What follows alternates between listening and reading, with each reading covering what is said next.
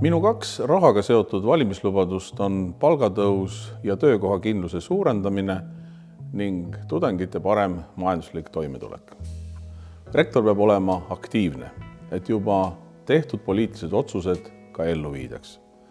pean silmas erakondade lubadust tõsta tegevustoetusi järgneva nelja aasta jooksul viisteist protsenti aastas ning viia teadusrahastus ühe protsendi tasemele sisemajanduse koguproduktist.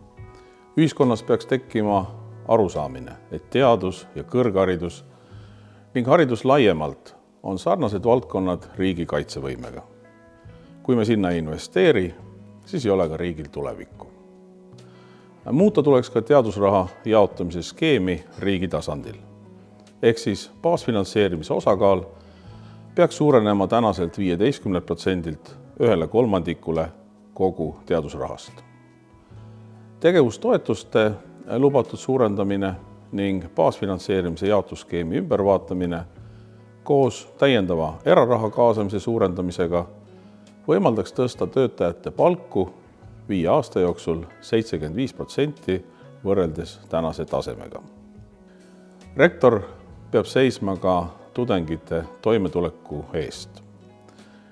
tänane tudengite toimetuleku toetus ja tulemusstipendium on tänu kiirele elukalliduse tõusule ilmselgelt ajale jalgu jäänud rektor peab kasutama nii rektorite nõukogu kui ka enda isiklikku sotsiaalset kapitali, et riigi tasandil vastavad poliitilised otsused kiiremini tehtaks.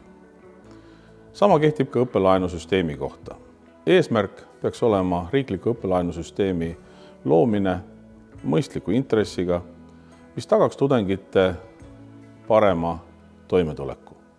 Süsteem peaks sisaldama endas ka kompensatsioonimehhanismi ehk siis teatud tingimustel, näiteks töötamine riigile vajalikul erialal, aitaks õppelaenu kustutada. pikemalt saab minu valimisprogrammiga tutvuda ülikooli kodulehel